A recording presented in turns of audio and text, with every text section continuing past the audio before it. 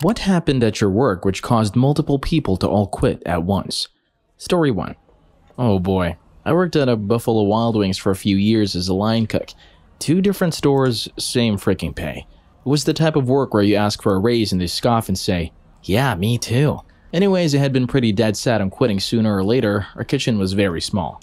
Most people ended up closing four to five days a week with doubles on the weekends, while still attending school full time as it was a college town. On Super Bowl freaking Sunday, a useless coworker who ducked out in the bathroom most of the shift finally stopped showing, and in response, the managerial staff delegated closing to my pal Jay. Dude was a freaking delight to be around, hands down the best coworker ever. Jay had told them that due to being a full-time student, he no longer wanted to be first in and last out, 4 p.m. to 12 a.m., 1 a.m. on the weekends. They basically told him to go frick himself, that they don't have any more shifts for him. Immediately, I and one other cook walked to the office and quit on the spot. Buffalo Wild Wings lost four cooks in Super Bowl Sunday, leaving them with seven full-time students on the schedule. It was awful management. Story 2. When I was 16, I worked in the concession stand at a minor league baseball stadium. The minimum wage at the time was $5.15 an hour. This job paid $8, and it was always in the evenings, so it was perfect for a high school student. The only bad thing was our management was terrible. The main manager would throw toddler tantrums about once a shift over stupid bullshit, like not ordering enough of a specific beer, she did the ordering, or running out of pre-cut lemons for tea. One night the stadium was running a promotion and was incredibly busy, easily two to three times normal volume of customers. We were all working our butts off, handling multiple roles, each with absolutely no downtime. Although we all cleaned as we worked, nobody had a chance to do thorough cleaning for the whole shift because of the never-ending horde of hungry baseball fans. The manager shows up three to four hours late, per usual, and throws the biggest freaking tantrum ever over the unswept floor. Finally, she announces, Listen up, you lazy fools. Minimal work gets minimal pay. Everybody's being paid minimum wage tonight because you slobs won't clean up anything. Both of our bartenders in the bar back quit on the spot, which caused a chain reaction. We all took off our aprons and hats to leave. She blocked the exit and was red in the face from screaming. So one of the cooks climbed out of one of the big serving windows where we served customers. So I did the same and most of the staff followed. Bear in mind that this all happened in front of like 200 plus customers. Of course, my final paycheck got lost, so I had to file a wage theft complaint with the Texas Workforce Commission. Story 3. I was hired by the new owners to replace the existing manager. I was under the impression that he was moving on to another job somewhere, so after about four days, I asked him where he was headed and if he was excited. He just looks blankly at me and says, I'm not going anywhere. I'm just training you as the assistant manager, right? The look I gave him must have been a great tip-off because he got up and walked into one of the new owner's offices. After about 30 seconds, they were screaming at each other. Then he just storms out of the office, grabs his stuff, gives me the finger, and leaves. Over the next few days, I'm trying to calm things with the employees. They're not faulting me, but now have a very bad taste in their mouths about the new ownership. Over about a 7 to 10 day time period, my team shrank from 15 people down to 3. I hobbled along with that the best I could while we tried to hire new people. But the new owners were offering so little we had trouble finding people. After three months or so of that, I started to get fed up and overwhelmed, and when the owners started to get on me about missed deadlines, I had it. We were still only at 5 people, two of which were brand new and still training. They didn't allow me to refuse work or push deadlines out, they expected the same output as a 15 person team. So after my third day in a row of being berated for missing a deadline that was impossible to make, I quit. Story 4. Worked at a Wendy's and one of the regional managers started running a store because they and wouldn't find new managers to replace the old ones. Well, anyways, this guy practically ran the place into the ground. Before he started running the store, almost everyone liked working there, as it was a good environment. A few months after, a couple of people quit because of him, and one day I roll in at 9 to help open the store, and he comes over to my car as soon as I park. I was 15 minutes early and usually just sat in my car until 9, and tells me, Hey, uh, I need you to start early because the three openers just quit on me. We managed to get the store open and had several people from other stores help run the place until the people from the next shift came in. A couple of days later, I hear the full story of what happened from a coworker. The regional manager is supposed to be at the store at 7 or so, and the openers are 30 minutes later. He didn't actually show up until 8.30. So when the openers, already pissed at being at work really early and not being on the clock, saw the regional manager roll in and knew it was going to be an awful shift, all decided that they were done with him and just quit right there. So at least six people quit because of him by the time I left the place. Probably more left after me. Story 5. Many years ago in high school, I worked at a movie theater. The place was pretty poorly run from the moment I started there. We never got paid on time, and management was basically a bunch of lazy jackasses who sat in the office talking all day, never actually did any managing. It would have been hard for things to have gone any worse, but after a couple of months, they brought in new management who seemed to want to make it their mission to run the theater as poorly as possible. They first decided to implement a new policy requiring all projectionists to wear ties. Even though projectionists are never seen by the public, not to mention the tiny little detail that the projectionists worked around giant rapidly spinning objects that a tie could get caught in.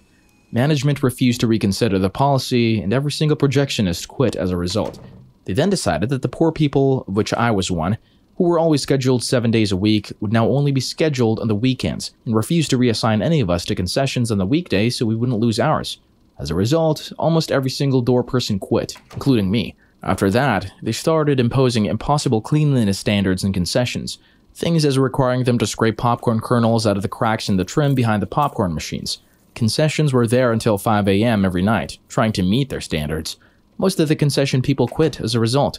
By my count, the theater went from a staff of about 50 to a staff of about 12 in three weeks. I swung by about a month after I quit and found out that the entire management staff had been fired and replaced yet again by an entirely new one, one who actually seemed to be running the theater properly. My best guess is that the previous management had been told to whip the theater into shape and they were idiots who had no idea how to effectively do that. Story 6 Owners retired. They were literally the greatest people, both very sweet, but kept the place running like a well oiled machine. They took pretty good care of us in the restaurant. When they left, they gave the restaurant over to their nephew, who at the time was a busboy waiter, kind of standoffish, didn't really interact with us too much, and was a bit lazy at times, but for the most part did his shit and went home. He seemed okay. Until he got the power of being the owner. He fired four people, including two of the four cooks and two of the three dishwashers, literally that same day, on a Friday night just before the dinner rush, all because he didn't like their attitude. He refused to allow people to take vacations that they'd already requested and got confirmed by the original owners, who changed the schedule randomly without telling anyone, and then scream at people when they missed a shift or came in late because of it.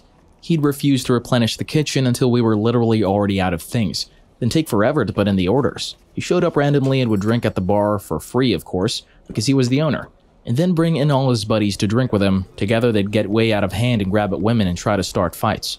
Within the first month of him being the owner, over half of the staff had quit, usually walking out literally in the middle of their shifts after being screamed at. They'd basically throw down their aprons and tell everyone else that they were so sorry, but they couldn't do it anymore.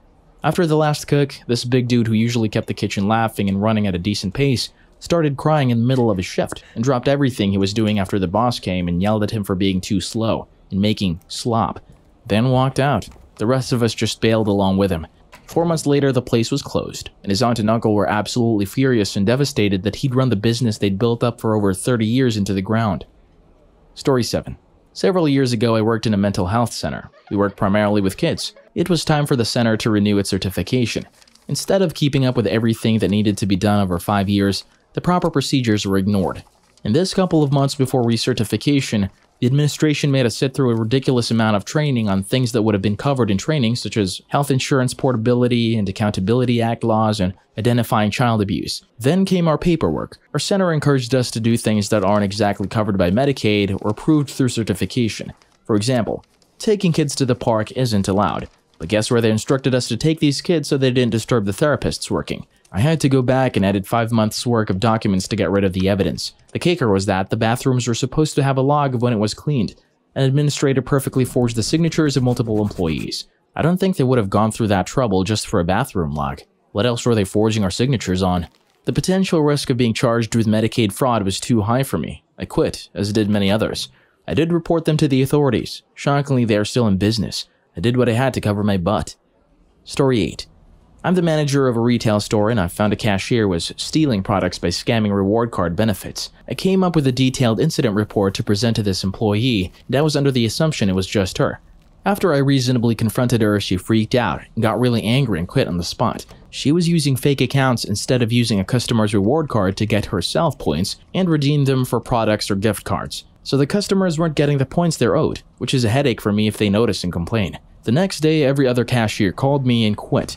After thinking about what just happened, I find out they were all in on it and were using this lady's fake card in their shifts too. So I'm down four cashiers and have one left. The same day, my last remaining cashier disappeared for 20 minutes. Turns out she was in the bathroom with another employee doing the nasty. She quits because her dad is a cop and doesn't want to find out she got fired for this. She also asked me if she should go to urgent care because she didn't take her tampon out before they did it, and she couldn't find it. The guy also quit because he didn't care and was moving anyway. I was down to literally managers only. So the first part is the mass exodus, and the last part was just for, can you believe this mess? Story 9. This is kind of a long story, but I worked at a discount store and it was that bad at first until one of our night managers quit and was replaced with, well, let's call her Becky. So Becky seemed nice at first, but we all started to notice her changing a lot of things around the store.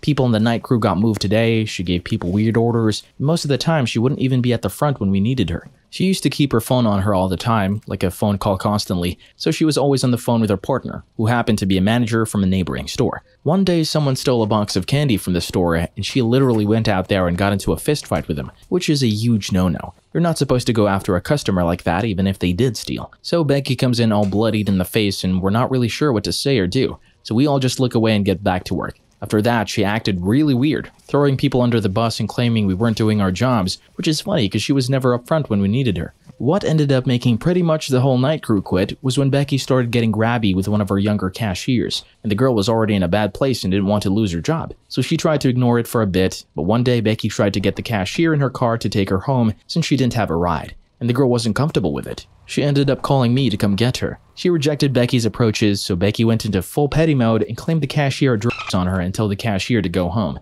The next day, the younger cashier was fired. So the younger cashier tried to tell our district manager about it, but he said there was nothing he could do. This was the last straw for everyone, and most of us quit within the month. Story 10.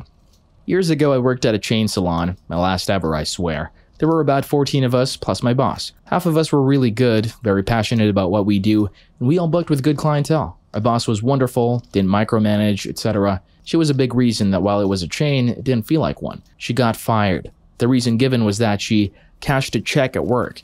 She bought the product, paid for it with a check, and added an extra $40 so she didn't have to find an ATM before she went to the bar. She had worked for the company for five years, had pulled three shops into the highest ranking ones in the district, consistently had shops exceeding their numbers, etc.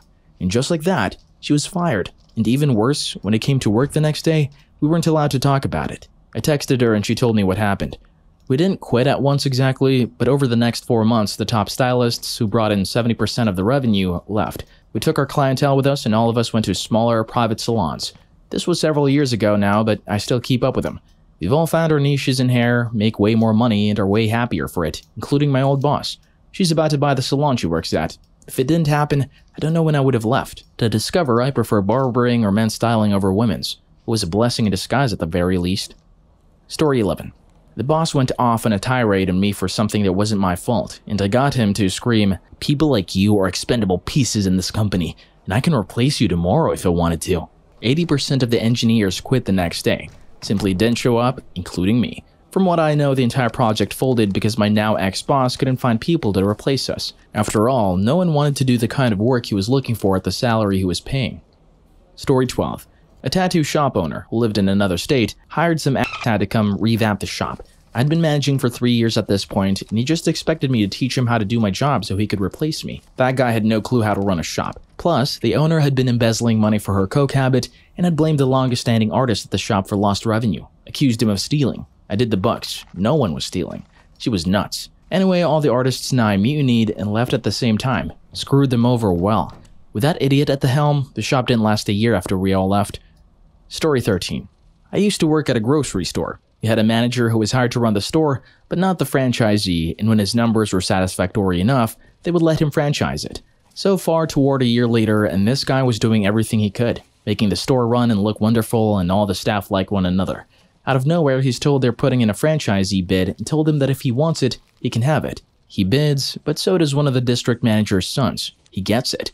Original manager is of course pissed, but accepts to stay as the grocery manager if he keeps the pay rate. Fast forward and the new franchisee gets fired for not following regulations. They do the franchisee bid a second time and tell the original manager the same thing. He can have it if he wants it. They give the store to another person for a second time. I felt bad for the guy because of all his hard work and how well he treated me. Store starts going down the hill, causing a lot of change and a lot of pissed off people. I was the first one to walk out, as all of the hours were cut.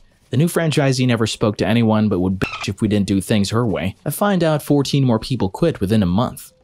Story 14. Working at a local restaurant that had recently changed owners, multiple issues came up difficulty getting off for important things, hiring people to work in the kitchen who were bad at their job but cheap, cheaper ingredients, etc. As well as the owner just kinda sitting around and drinking while they're not doing much. Things were tense, and after a few months, we were really just hanging in there because we liked each other. The previous owners were a sweet old couple that set a great vibe. I know some others and I were already looking for a job. Anyways, there was a young mother who waited tables there and really needed a job, but couldn't afford to be between jobs. One night she got a call that her grandmother had a severe stroke, was unresponsive, and was not expected to make it through the night. She has to get off and start her three hour drive to Dallas. Manager says of course, but the owner says no. The manager and owner got into a verbal fight in the back. The waitress ended up pleading her case, crying. The manager said that if the owner wouldn't let her go, he was done. The owner ended up firing them both on the spot. Within the next 15 minutes, everyone who hadn't been recent hire ended up walking out of the building. Seven of us walked out. But one waitress, one cook, the dishwasher, and the busboy stayed.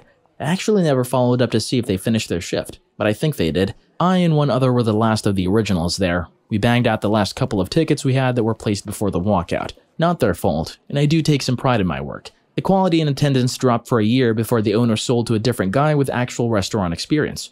The original couple returned to reopen the restaurant, and it is still going today. I'm not going to name names, no point, just let sleeping dogs lay. The waitress did make it in time to say goodbye before her grandmother passed. Story 15.